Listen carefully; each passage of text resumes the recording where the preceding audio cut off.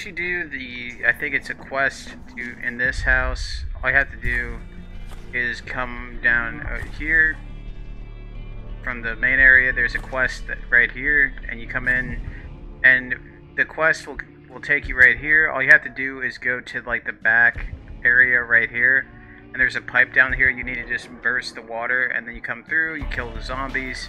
You end up in his house, and it's gonna be. Where is it? Sorry. It's gonna be right here. It's gonna be the lightweight perk. Lightweight.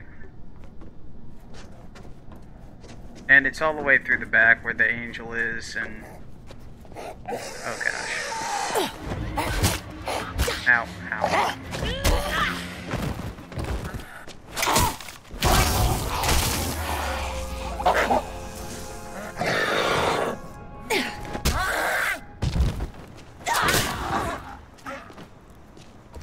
So that that's uh, that's that's it right there. So thank you guys for watching.